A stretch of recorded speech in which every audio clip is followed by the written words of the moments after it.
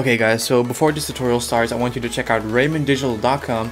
It's basically a website where you can get like really awesome high quality intro templates that are really easy to edit. All the info is in the description down below.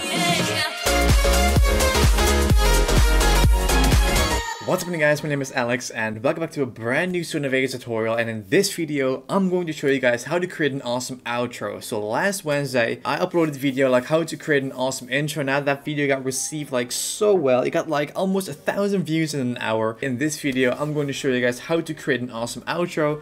So it's going to be really simple and I would say let's get started. Okay guys, so the first thing is like you're going to think what is going to be a cool outro? Well basically nobody uses annotations anymore because YouTube recently rolled out like the, like the, the whole end card screen. So we're gonna make a really really simple outro with like a background and just some text because we're gonna add in like the like the subscribe and the and the next video uh, on YouTube itself. You don't need to do that anymore in Sony Vegas. So what I'm going to do now is I'm going to open up the folder that that has everything in it that we need. So I'm going to open up the folder right here. So just like last time, just disregard the thumbnail. Uh, so the first thing we're going to do is we're going to add in a background. And obviously, I just picked a, like a random gray um, like texture, so you guys can like you guys can pick anything you like. I'm just to use a gray texture for this. But as you can see right now, I dragged in the picture, but it has like two black bars. We don't want that. So I'm to right click on the text, properties, um, maintain aspect ratio, uncheck that one, boom, and there we go. Now the black bars are gone. This is to be the surface that we're to work on. So basically now that we have our background, the only thing we're to do is we're to click on media generators. I'm to go over to titles and texts and I'm going to drag that guy on top of there and I'm going to just type in thank you for watching. That's actually a pretty obvious uh, sentence to, you know to have an outro. So I'm going to pick uh, thank you for watching. But as you can see when I type it's going to be out of the screen because it's way too big so I'm just going to select everything. Let's go and let's make this one 30 it's still too big. Let's pick 25 a little bit too big. Let's pick 23 that's perfect. So now we're going to go over and I'm to place this guy uh, I would say right here and let's make sure it's centered. So just make this make sure that this guy is on 50 because that's centered. So now let's just pick a different font. And let's see what kind of uh, like fancy font we're gonna find here uh, so I'm just going to pick a nice font I would say. This one looks pretty cool. Then we're gonna add in a little bit of outline just for effect. I'm just going to click on outline width. And as you can see it's getting really thick but we just want to go ahead and pick black. Obviously you can you can pick any color you like. Now I'm going to just pick black because that, that, in my case that looks best for me. I'm going to make this you know the outline a little bit thicker. There we go.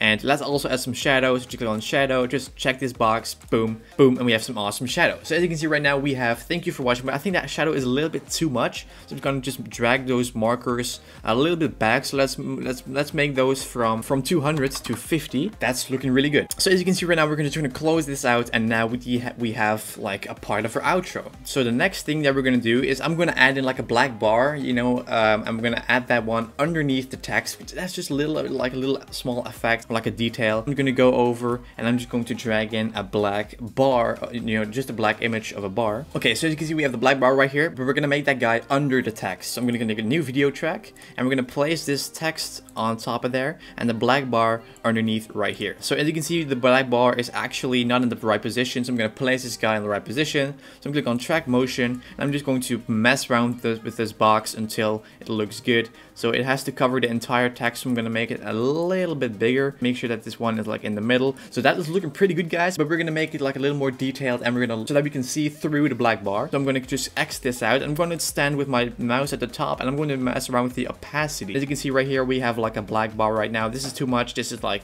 too, like, this is not enough. So we're to do, we're to mess around until we are happy with it. So I think this is a little bit too much, but I would say let's make this uh, bar like this, you know, that, that you can look through it. So that looks pretty good, guys. The next thing we're to do is we're to add in some music. So I'm to drag in a nice non-copyrighted song in here, which is called uh, The Edge by uh, No Copyright Sounds. I'm to drag that guy in, and I'm just going to start where the drop begins. So I'm to, let's see, I'm to turn on my headset because there's audio. And let's go ahead and let's see uh, where the audio is. I'm to mask that onto uh, the outro.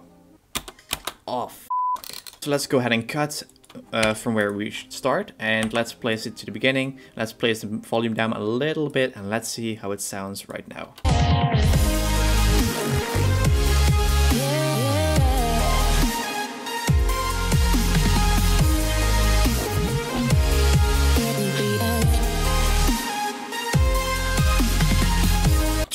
And when I when I hear that, I'm just going to make I'm going to go to the very end of the track and I'm going to pick the last this this one. I'm going to cut away, and now we're going to place that guy at the very end of this outro. So, so it's so it sounds that it's going to like like have like a dush, and then it's done. Let's go ahead and cut until where it fits. That's a, bit, little bit too uh, too early. So let's drag it a little bit to the right, and let's go ahead and start placing this guy where it should be see it, it all, almost sounds good. That sounds really, really good, guys. So this is what we made so far just by cutting the end of the song into the middle. So this is how our outro sounds right now.